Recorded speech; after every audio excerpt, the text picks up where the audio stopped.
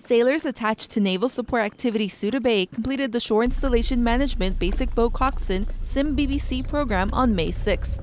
The week long course consists of two days of classroom instruction and three days of hands on training in the water.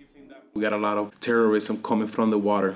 Everything started with the USS Cole, so we got to be pro- protecting the waterways. And this is giving you the tools from the basic bottom up to build you to do some type of security, Navy wide, worldwide. SIM BBC provides a standardized shore installation management program for training and qualifications of basic boat coxswains and crew members. The course covers rules of the road, emergency situations, and boat maneuvering. Petty Officer Anaí Bañuelos Rodriguez, Souda Greece.